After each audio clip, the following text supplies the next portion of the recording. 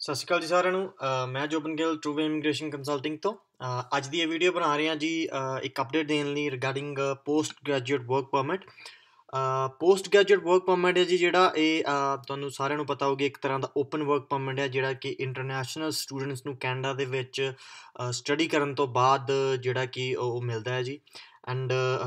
ਥੋੜੇ ਇੱਕ ਦਿਨ ਪਹਿਲਾਂ ਕਾਫੀ ਸਾਰੇ ਸਾਡੇ ਜਿਹੜੇ ਹੈਗੇ ਜੀ ਇੰਟਰਨੈਸ਼ਨਲ ਸਟੂਡੈਂਟਸ ਦੀ ਇਨਕੁਆਇਰੀ ਸੀਗੀ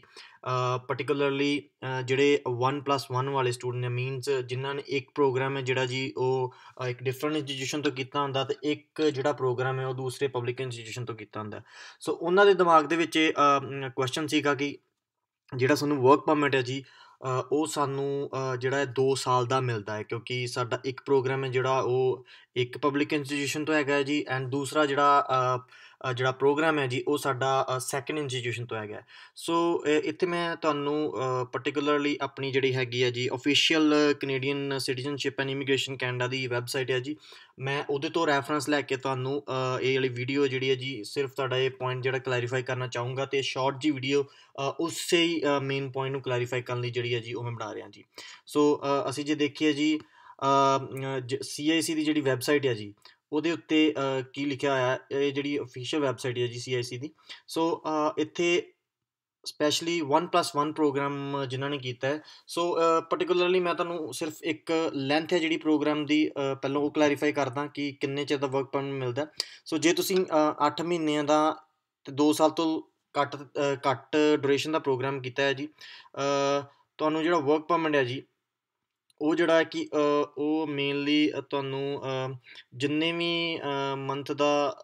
ਜਿਹੜਾ ਆਪਣਾ ਤੁਸੀਂ ਸਟੱਡੀ ਕੀਤੀ ਹੋਊਗੀ, ਉਹਦੇ ਅਕੋਰਡਿੰਗਲੀ ਤੁਹਾਨੂੰ ਜਿਹੜਾ ਜੀ ਵਰਕ ਪਰਮਿਟ ਮਿਲੇਗਾ। ਤੇ ਨੈਕਸਟ ਆ ਜੀ ਅਸੀਂ ਜੀ, ਜੇ ਤੁਹਾਡਾ ਵ- ਜਿਹੜੀ ਤੁਹਾਡੀ ਸਟੱਡੀਜ਼ ਆ, ਉਹ ਜੇ 2 ਸਾਲ ਜਾਂ ਉਸ ਤੋਂ ਵੱਧ ਹੀ ਆ ਜੀ, ਹੈਨਾ? ਜੇ ਤੁਹਾਡੇ ਕੋਲ 2 ਇਅਰਸ ਔਰ ਵੱਧ ਦੀ ਸਟੱਡੀ ਹੈ ਦੈਨ ਜਿਹੜਾ ਤੁਹਾਡਾ ਵਰਕ ਪਰਮਿਟ ਹੈ ਉਹਦੀ ਲੈਂਥ ਹੈ ਜਿਹੜੀ ਜੀ the length of the work permit should be 3 years so length of the programme should be 3 years ਜੇ ਤੁਸੀਂ 2 ਸਾਲ ਦਾ ਪ੍ਰੋਗਰਾਮ ਕੀਤਾ ਸੋ ਲਾਸਟ ਪੁਆਇੰਟ ਜਿਹੜਾ ਮੈਂ ਮੇਨ ਹਾਈਲਾਈਟ ਕਰਨਾ ਚਾਹੁੰਦਾ ਜੀ ਇੱਥੇ ਜਿਹੜਾ ਕਿ ਮੋਸਟਲੀ ਸਾਡੇ ਸਟੂਡੈਂਟਸ ਦਾ ਕੁਐਸਚਨ ਸੀਗਾ। ਸੋ ਇੱਥੇ ਉਹਨਾਂ ਨੇ ਲਿਖਿਆ ਜੀ, ਜੇ the student completed more than one program from an eligible DLI within 2 years so ਇੱਥੇ ਡੀਐਲਆਈ ਦੀ ਗੱਲ ਕਰੀਏ, ਇੱਥੇ ਮੇਨਲੀ ਆਪਣੀ ਉਹ ਇੰਸਟੀਟਿਊਸ਼ਨ ਦੀ ਗੱਲ ਹੋ ਰਹੀ ਹੈ ਜੀ, ਉਹ ਪਬਲਿਕ ਇੰਸਟੀਟਿਊਸ਼ਨ ਦੀ ਗੱਲ ਹੋ ਰਹੀ ਹੈ, ਜਿਹੜੇ ਕਿ ਐਲੀਜੀਬਲ ਹੈ ਜੀ post graduate post graduate work permit ਦੇਣ ਦੇ ਲਈ ਸੋ ਇਹਦੇ ਵਿੱਚ ਤੁਸੀਂ ਜੇ ਦੇਖੋ ਉਹਨਾਂ ਨੇ ਲਿਖਿਆ ਕਿ the length of the work permit should combine the length of each program ਸੋ ਜਿਹੜਾ ਜੀ ਵਰਕ ਪਰਮਿਟ ਦੀ ਜਿਹੜੀ ਲੈਂਥ ਆ it must be according to the length of the program you have completed so ਉਹਦੇ ਵਿੱਚ ਉਹਨਾਂ ਨੇ ਇੱਕ ਮੈਂਸ਼ਨ ਕੀਤਾ ਜੀ point if the combined length of the programs if the combined length of the programs is 2 years or longer,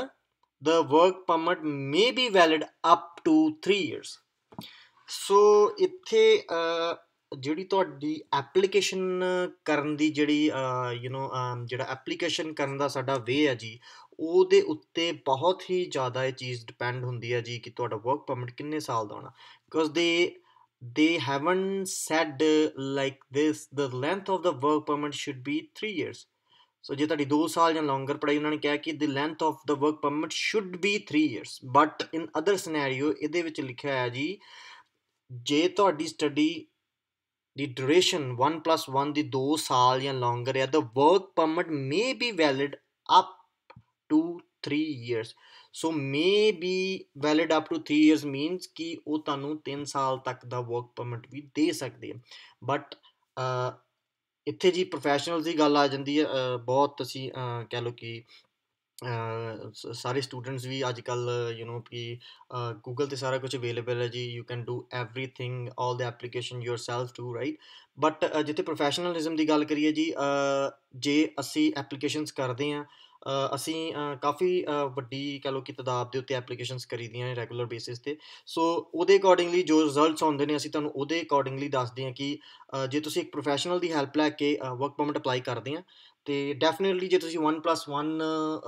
program complete ਕੀਤਾ 1 ਸਾਲ ਦਾ ਕਿਤੇ ਕੀਤਾ ਹੈ ਤੇ 1 ਸਾਲ ਦਾ ਹੋਰ ਕਿਤੇ ਇੰਸਟੀਟਿਊਸ਼ਨ ਤੇ ਕੀਤਾ ਹੈ ਤੇ ਅਸ- ਤੁਹਾਡਾ ਜਿਹੜਾ ਵਰਕ ਪਰਮਿਟ ਆ 3 ਸਾਲ ਤੱਕ ਦਾ ਹੀ ਆਉਣਾ ਚਾਹੀਦਾ ਜੇ ਤੁਸੀਂ ਆਪਣੀ ਐਪਲੀਕੇਸ਼ਨ ਪ੍ਰੋਪਰ ਤਰੀਕੇ ਨਾਲ ਕਰਦੇ ਹੋ। ਅਦਰਵਾਈਜ਼ ਅਸੀਂ ਇਹ ਵੀ ਦੇਖਿਆ ਕਿ ਬਹੁਤ ਸਾਰੇ ਸਟੂਡੈਂਟਸ ਨੂੰ ਜੇ ਬਾਰਡਰ ਤੇ ਵਰਕ ਪਰਮਿਟ ਲੈਣ ਜਾਂਦੇ ਆ ਜਾਂ ਆਪ ਵੀ ਐਪਲੀਕੇਸ਼ਨ ਕਰਦੇ ਆ 2 ਸਾਲ ਤੱਕ ਦਾ ਵਰਕ ਪਰਮਿਟ ਵੀ ਕਾਫੀ ਜਾਣਨ ਨੂੰ ਮਿਲਿਆ। So for any inquiry regarding your post graduate work permit ਤੁਸੀਂ ਸਾਡੇ ਨਾਲ ਇੱਕ ਵਾਰੀ ਕੰਟੈਕਟ ਕਰ ਸਕਦੇ ਹੋ ਸਾਨੂੰ। ਅਤੇ ਤੁਹਾਡੀ ਐਪਲੀਕੇਸ਼ਨ ਹੈ ਜਿਹੜੀ ਜੀ ਅਸੀਂ ਪ੍ਰੋਪਰ ਪ੍ਰੋਫੈਸ਼ਨਲ ਤਰੀਕੇ ਨਾਲ ਜਿਹੜਾ ਹੈਗਾ ਵੀਜ਼ਾ ਅਫਸਰ ਦੇ ਸਾਹਮਣੇ ਅਸੀਂ ਅਪਲਾਈ ਕਰ ਸਕਦੇ ਹਾਂ ਤਾਂ ਕਿ ਤੁਹਾਡਾ ਜਿਹੜਾ ਵਰਕ ਪਰਮਿਟ ਹੈ ਉਹ ਤੁਹਾਨੂੰ 3 ਇਅਰਸ ਤੱਕ ਦਾ ਹੀ ਮਿਲੇ ਤੇ ਤੁਹਾਨੂੰ ਜਿਹੜਾ ਜੀ ਵਰਕ ਪਰਮਿਟ 2 ਸਾਲ ਤੱਕ ਦਾ ਨਾ ਮਿਲੇ, ਇਹ ਸਾਡੀ ਕੋਸ਼ਿਸ਼ ਰਹੂਗੀ ਜੀ। So for any other inquiry regarding post graduate work permit contact us on 6476076993 6476076993 ਜੀ। ਤੁਸੀਂ ਸਾਨੂੰ ਸਾਡਾ ਆਫਿਸ ਵੀ ਵਿਜ਼ਿਟ ਕਰ ਸਕਦੇ ਹੋ ਜੀ ਜਿਹੜਾ ਕਿ ਲੋਕੇਟਿਡ ਹੈ unit number 35173 Advance Boulevard Brampton Ontario ਦੇ ਵਿੱਚ। ਸਾਡੀ ਸਿਰਫ ਤੇ ਸਿਰਫ ਇੱਕੋ ਹੀ ਬ੍ਰਾਂਚ ਹੈ ਜੀ, ਜਿਹੜੀ ਕਿ ਕੈਨੇਡਾ ਬ੍ਰੈਂਪਟਨ ਦੇ ਵਿੱਚ ਹੈ ਜੀ। ਅਤੇ ਤੁਸੀਂ ਸਾਨੂੰ ਕਿਸੇ ਵੀ ਟਾਈਮ ਆਪਣਾ ਫੇਸਬੁੱਕ ਦੇ ਥਰੂ ਇੰਸਟਾਗ੍ਰਾਮ ਦੇ ਥਰੂ ਫੋਨ ਦੇ ਥਰੂ ਵਟਸਐਪ ਦੇ ਥਰੂ ਟੈਕਸਟ ਦੇ ਥਰੂ ਸਾਡੇ ਕੋਲੋਂ ਅਪਾਇੰਟਮੈਂਟਸ ਵੀ ਲੈ ਸਕਦੇ ਹੋ ਅਤੇ ਸਾਡੇ ਨਾਲ ਰਾਬਤਾ ਫੋਨ ਦੇ ਥਰੂ ਵੀ ਕਾਇਮ ਕਰ ਸਕਦੇ ਹੋ ਤੇ ਤੁਹਾਡੀ ਕੋਈ ਵੀ ਇਨਕੁਆਇਰੀ ਅਸੀਂ will be more than happy to assist you so this is a short video I I hope you will you will find this video informational and you will share and spread this video to all your friends and whoever is seeking help regarding this scenario thank you so much have a nice day